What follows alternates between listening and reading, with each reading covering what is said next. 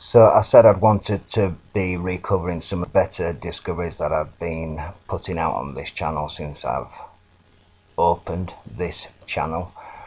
One was showing you how this polygonal walling could not have been machined from what they call the quarry and in fact it was a week ago, I won't mention the channel's name, but it was showing the science, uh, a documentary that was put out a few years ago from this Russian team, showing how uh, where they suspected that the material for the polygonal blocks, geopolymer, say, uh, could have been taken from. It turned out that it couldn't have been taken from there just by looking at it, okay, under a microscope.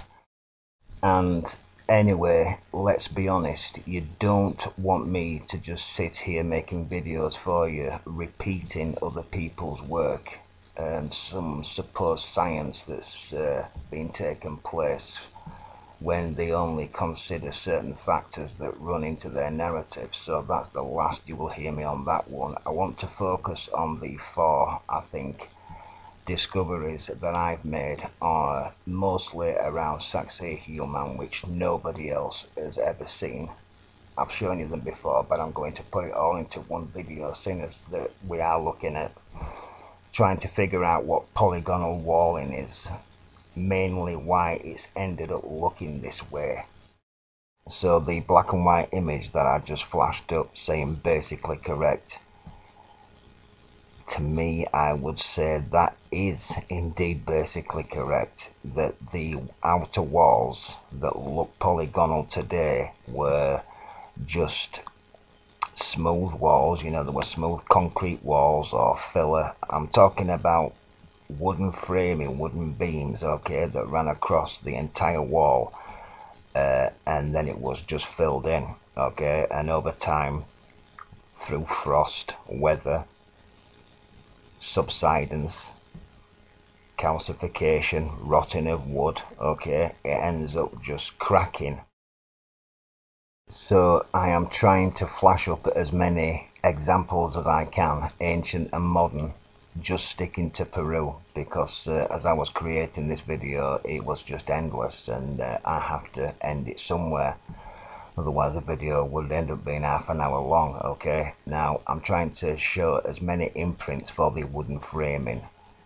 The reason why it rots away in some cases I'm not totally sure but we can see the imprints of it no doubt about it. So with the red lines that I've drawn in here it looks like some type of sack you know string that's been holding the mass of geopolymer interposition yeah has left an imprint in the blocks which I know are large but that's just what it appears to be. To me you know there should not be there. The blue lines that I've placed around the edge uh, is obviously wooden framing which we can see all across this wall. Some of it rots away sometimes and then here and there it just leaves a hole, right, where archaeologists tell us that ancient peoples came with a tree trunk and they were shoving it into position, right, but it is indeed the wooden framing. It's like a, a retaining wall that they've built, alright? So I'm clearly showing more imprints of this uh, partition walling that runs outside the main structure which has also petrified for whatever reason. You can come up with your own ideas but an, another discovery that I thought were pretty major was these sacks because there must have been filling areas of this wall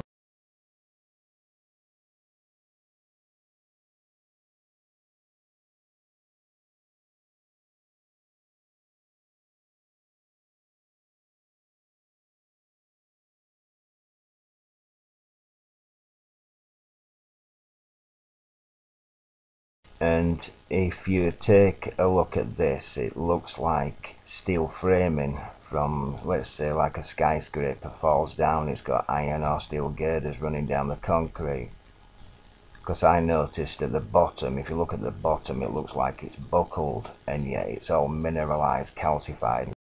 And these are also some of the discoveries I made on my own here. Have a quick look at these because I think these are pretty spectacular. Uh, and I will get back to you towards the end of the video because I have got something else to say.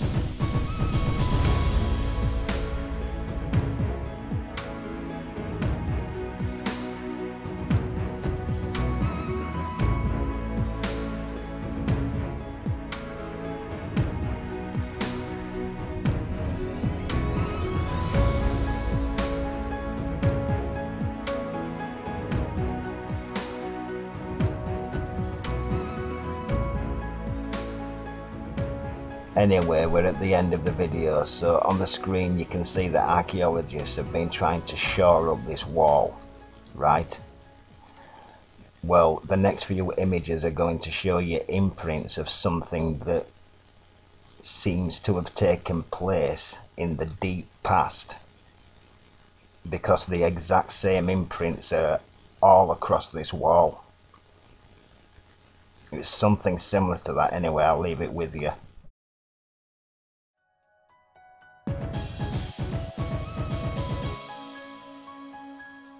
Well, if you like that, ladies and gentlemen, and you want to help the channel moving forward, you can press on the link in a pinned comment, which will be in every video from now on. Thank you.